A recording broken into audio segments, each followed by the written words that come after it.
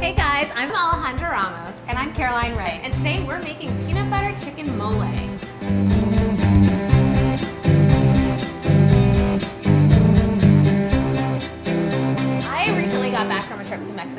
Had the most amazing mole. So when I get back, I like to extend my vacations by recreating the dishes I had while I was there. So this is my little twist using the heat is on peanut butter. Smart. It's so good. It's so That's spicy, awesome. adds great flavor. So let's get started. Okay. I'm just gonna do a little bit of olive oil right in my pan here. All right. Um, and can you hand me those onions, please? Yes. Some onions and some garlic, cause you know Great. we want to add a lot of flavor to this. I've got a lot of garlic in here. this is good. So this just kind of goes into the oil, and you really just want to let it go for about a minute or two, just until it gets fragrant. Okay. So once once people are like, "Hey, something smells delicious," that's when you're ready to move to the next step. Oh, it smells awesome. You know, there's nothing better than onions and garlic. Onions and garlic are just the most perfect scent. Agreed. Yeah. Agreed. I I, I, a Passing. perfume would be nice, I think. What do you think? I don't. Well, I mean, I don't know about that. I think I'm sure my husband would love that. um, can I actually get a tiny little pinch of that salt there? Yes. Can I do it? Yeah. Oh, totally. Go for it. All right. Yeah. Tell me, tell me when. That's good. That's right. good. Alrighty. And now we can actually go ahead and get those other ingredients. So these are crushed plum tomatoes. Are just right from the can. Nothing super, super fancy. Okay. Yeah, I like to keep it easy. All right, so we can start getting these spices in. Okay. So I've got a little bit of cumin right here. All right.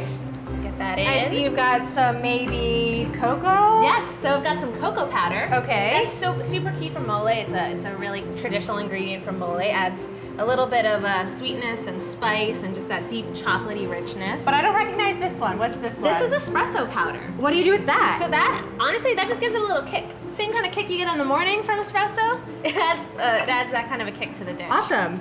And this may I smell some cinnamon here. This What- is cinnamon. All right. Also, so it's really nice because it's kind of like a savory dish, but it's got a lot of sweet elements to it.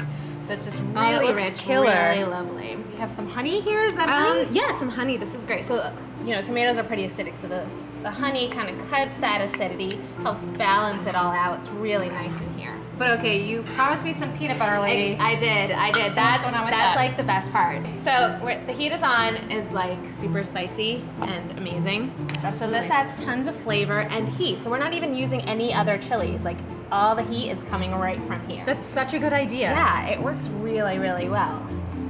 This is good. Ooh. And yeah, I'm doing. I'm generous with it. I that's like a, it. That's a good dollop. a good dollop. yeah, and so you just work that in. Let the heat from the uh, the sauce kind of melt that peanut butter. Oh, it's getting like nice and thick. and Yes, yes. It smells incredible. So I've actually got the chicken over here. I'm using uh, chicken thighs and chicken um, drums, so Nice. chicken legs. And what's nice about this is this is the dark meat of the chicken. It can cook a little bit longer. It becomes really tender. Awesome. And I already I gave this a little bit of a sear, so Okay. it's nice. It gives it a little bit of color, a little bit of extra flavor. Nice. But if you're in a hurry, you can totally skip that. Okay, okay. I won't tell. Awesome. So do you want to actually you want to actually right. go ahead and put those Thanks. in here? Yes, absolutely. So you can put them. So just like nestle them in. Yeah, just nestle or- them right into the sauce, Okay. and it can be um, just in a single layer, so you don't want them to overlap. Okay. And now we want to add our chicken broth. Alrighty, All right, put here that you go. in here. Yeah, so we just kind of want to cover All the right. broth, just like that. So it depends on the kind of size of the pan of how much broth you're actually going to end up using. Okay. So this is about pretty good. There you go. And so we're just gonna get a nice braise going, right? Exactly, yeah. And now we're just gonna let this braise, just kind of give it a nice simmer for about 30 minutes. And you can cover it if you want, but it's uh, you know it's fine like this. Okay. It's easy. So we can just like like it. We can, yeah, we can, yeah, we can, can dance. All right.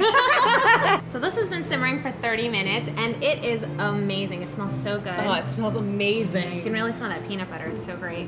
So our, I'm ready to plate if you're ready to eat. You get two. well, thank you. Get some of that delicious peanut butter mole sauce on there. So good. so right. we want to garnish this up with uh, some chopped roasted salted peanuts. It's Okay. just the perfect little finishing touch here. Brings out the peanut flavor. Yeah, kind of heightens that perfect peanut butter. That's butter creative. I, I really like you it. like it? Yeah, I do. I like it. It's my little twist. So there you have it, peanut butter chicken mole. Thanks for watching. We hope you try this recipe and give us a like.